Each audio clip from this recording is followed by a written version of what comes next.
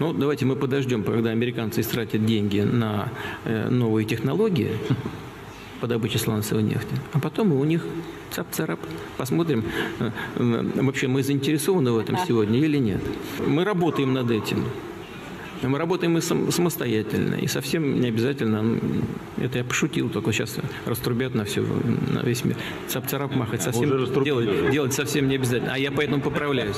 Пока весь цивилизованный мир развивается и обменивается опытом и знаниями со странами-партнерами, Россия благодаря своей кровожадной внешней политике все больше погружается в изоляцию – в частности, технологическую. После полномасштабного вторжения в Украину контакты с государством-террористом ограничивает даже Китай, который в марте 2022 сократил экспорт своих технологий в Россию вдвое. Это произошло сразу после введения санкций американским правительством акцентирует министрка торговли США Джина Раймондо. В условиях всемирной блокады Путин не придумал ничего лучше, кроме как обратиться к обычной практике СССР и поручить разведке добыть иностранные технологии. Проще говоря, украсть.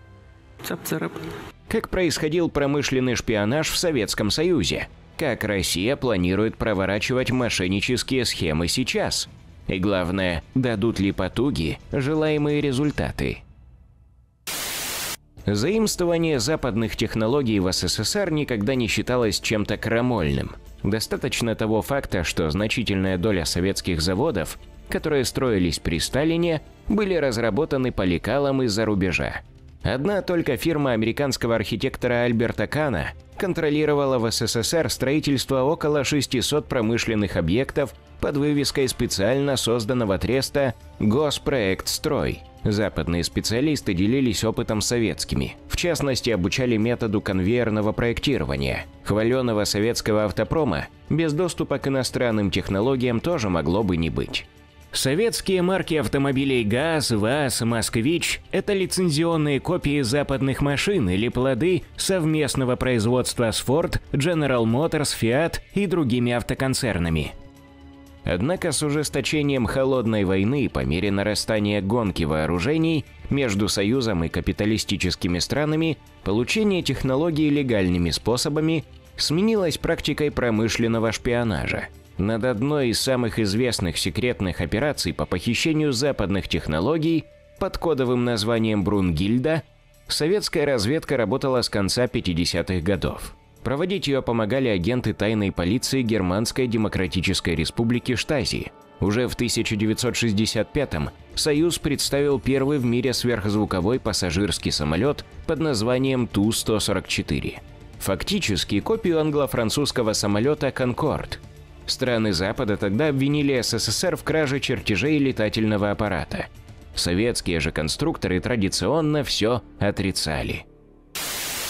Ту-144 далеко не единственный пример присвоения и переработки иностранных технологий в СССР. Ярким примером служат копии единиц западной военной техники. Такими технологиями страны-капиталисты не делились вовсе, по понятным причинам. Таким образом, советский бомбардировщик Ту-4, созданный в 1949 году, почти точная копия американского стратегического бомбардировщика Boeing B-29.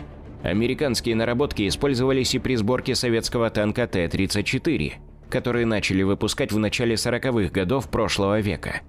Советский пистолет ТТ и внешне конструктивно очень похож на Браунинг 1903, адаптированный под патрон другого калибра.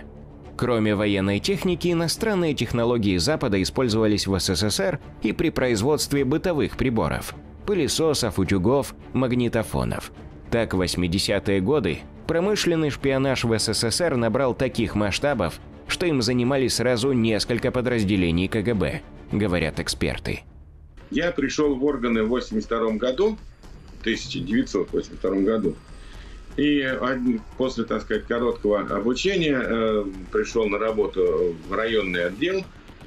И вот одной из моих задач, моих, каждого сотрудника, э, было не пропускать, если вдруг какие-то люди, э, связанные с технологиями Запада, ученые, инженеры, э, конструкторы и так далее, если вдруг они что-то могут цап-царап, если они могут получить, если они могут договориться, надо это использовать.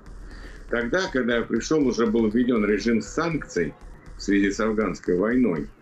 И уже тогда Советский Союз испытывал серьезные технологические трудности э, в новых э, вот этих э, изобретениях и так далее и тому подобное. И вот каждый сотрудник был обязан, в случае чего, значит, эти данные, эту информацию передавать в центр. Помимо этого, в контрразведке было создано управление РТ, разведка с территории. В задачи этой разведки входило как раз получение информации, обретение источников среди технологов, среди инженеров на Западе, если есть возможность, за какие-то деньги, чтобы они нам передавали технологические секреты. Помимо этого, было специально создано подразделение в разведке, управление по э, краже технологических секретов. Использование компьютерных программ шпионов, вербовка и подкуп тех, кто имел доступ к заветным тайным знаниям, подслушивающие устройства – Использование спутников. Еще во времена СССР все это уже активно использовалось для получения западных технологий. Но не всегда действия советской разведки сводились к краже. Существовал также и более хитрый подход. А именно передача технологий через третьи страны во избежание последствий. Ну, например, какая-то поставка идет в какую-то, допустим, дружественную нам или полудружественную страну, в Аргентину, Бразилию, там, или какую-нибудь там Нигерию, там, ну, неважно куда, да, Пакистан, предположим, а у нас там есть позиция. И вот задача была оттуда эти технологии стырить. Э, документацию, либо изделия. Вот я помню, там ставила задачи по микрочипам, по компьютерным платам и так далее. Все это ставило задачи, как их грамотно, не, не подставляясь под э, скандалы, стырить на Западе и ввести в страну. Примерно те же схемы и инструменты советского шпионажа Россия будет пытаться воссоздать и сейчас в попытке заполучить западные технологии, на экспорт которых наложили эмбарго из-за санкций, говорят эксперты. Вернее, сейчас у представителей спецслужб добавится работы. Ведь попытки украсть чужое в РФ никогда и не прекращались. Даже российское законодательство и то подгоняли под пиратские схемы. В 2018 году в ответ на экономические санкции США депутаты Российской Госдумы предложили ввести норму о так называемом исчерпании исключительного права на товарный знак компаний из недружественных стран. Таким образом, чиновники хотели дать зеленый свет на производство американских товаров без разрешения правообладателей. Тогда законопроект завернули. Кто знает, возможно сейчас РФ вспомнит об инициативе, чтобы иметь дополнительный аргумент, как развязать себе руки. Что касается норм международного права, здесь, как ни странно, все запутано. Факт воровства не просто доказать, говорят эксперты, поскольку законодательство разных стран не предусматривает процедуры, благодаря которой можно выявить, кто был первым в разработке ноу-хау и не пришла ли гениальная идея двум сторонам конфликта одновременно. С Россией в таком случае взятки гладкие. Все сводится к тому, что если у вас украли, значит сами виноваты, плохо охраняли. Это не в чистом виде краж, там украл кого-то там машину, угнал и попался на посту ГАИ. И вот, э, используя вот эти сложности юриспруденции западных стран, российская разведка, контрразведка, я думаю, что ГРУ очень в этом активно участвует, воруют секреты там двойных технологий. Наверняка идет, э, поставлены такие задачи перед научными центрами, перед научным сообществом э, российским, там тоже есть наверняка агенты свои, так сказать, влияния и так далее, которые могут получать эти секреты в ходе совместных там научных исследований, разработок и прочее, прочее. Говоря о промышленном шпионаже в России, дело не столько в проблематичности похищения современных высоких технологий, сколько в трудности их реализации, говорят эксперты. Допустим, Россия нашла способ, как переправить к себе чипы из Тайваня, страны-лидера по производству и поставкам чипов и микросхем, необходимых не только для бытовой техники и гаджетов, но и военной промышленности. Допустим, удалось добыть определенное количество импортных комплектующих, без которых не произвести ни нормального автомобиля, ни высокоточного оружия. И на этом, пожалуй, все, говорят эксперты. Добыть части чего-либо реально, но в России нет независимых предприятий, на которых весь этот конструктор можно собирать и производить. Россия сейчас не производит собственной, э, ну, собственных средств производства. Она покупает готовые производственные линии и перед тем, как пугать мир тем, что э, Россия наворует технологии, Россия просто должна сначала объяснить, э, на каких производственных линиях она это будет производить. Средства производства современные, они, как и бытовая техника, они же идентифицируются, э, программное обеспечение идентифицирует и, и не только э, сам станок, но и место расположения, где он сейчас находится. Вот эти заявы Путина о том, что они будут воровать технологии, это отсылка к, э, советской, э, к советскому прошлому, на котором строят всю идеологию э, вот эти Патрушевы, Путины и же подобные, Медведевы. Сам Путин ведь не пользуется компьютером. Он, он, он не, не имеет ни, мани, ни малейшего представления, как работают цифровые технологии. Так, в отличие от Советского Союза, где, между прочим, также не удалось применить украденные технологии в полной мере, Россия на самом деле еще более импортозависимая страна. По оценке Российской высшей школы экономики, за последние 20 лет экономические расходы государства на закупки иностранных технологических решений выросли в 12 раз и достигли около 5 миллиардов долларов. Да, этого агрессор, конечно, не учел, когда развязывал полномасштабную захватническую войну против суверенного государства. Что ж, самое время наглядно продемонстрировать мощь отечественного импортозамещения, которым Путин регулярно успокаивает население. Но не тут-то было. Программа импортозамещения на деле оказалась всего лишь способом отмывания госсредств. Куда ни глянь, и чудеса отечественного ракетостроения, и автопром, и авиастроение – все это держалось на импорте. Всего лишь один пример того, что история Россию ничему не научила.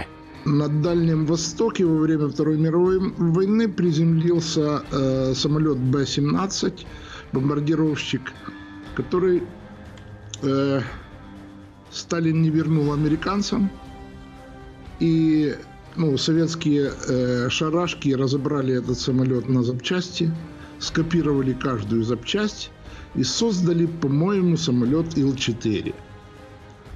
Только он оказался на 2 тонны тяжелее от аналога. Э, Россия гордо рассказывала о сухом джете и рассказывала о том, что она производит оригинальное собственное крыло. Только она забыла сообщить, что композитные материалы на производство этого крыла все-таки поставляла Америка. И сейчас нет этих композитных материалов. Э, ну, воссоздать или скопировать эти композитные материалы Россия не может. Как бы то ни было, команда ФАС уже поступила. А значит, наращивать промышленный шпионаж все равно будут. Россия предпочитает, э, на мой взгляд, покупать уже готовые изделия современных технологий, нежели пытаться вот здесь довести до ума какие-то технологии. Э, поскольку для того, чтобы довести до ума изобретение, нужна система. А в России система враждебна новым технологиям, она вообще враждебна экономике, враждебна бизнесу. И поэтому можем скачать все секреты, но они никогда не будут или с, огромным, с огромной задержкой во времени будут реализованы в России по дорогой цене и не того качества. Но будет ли толк от кражи иностранных технологий? Не так давно, в 2020 году, западные ученые обвинили российских хакеров в краже формулы векторной вакцины от коронавируса шведско-британской фармацевтической компании AstraZeneca, которую РФ позже преобразовала в «Спутник Ви», свою первую антиковидную вакцину. Однако, в отличие от британского препарата, российские так и не одобрили в мире. Заработать на поставках доз в цивилизованные страны не удалось. Эксперты говорят, примерно то же самое будет происходить и сейчас в попытке применить высокие технологии Запада на российских мощностях силами местных умельцев. Даже если Россия сможет что-то скопировать, то она не сможет это продать на внешних рынках. По цене любая продукция российская, она имеет э, температурную наценку для, э, ну, где, э, в какой зоне размещены российские производства?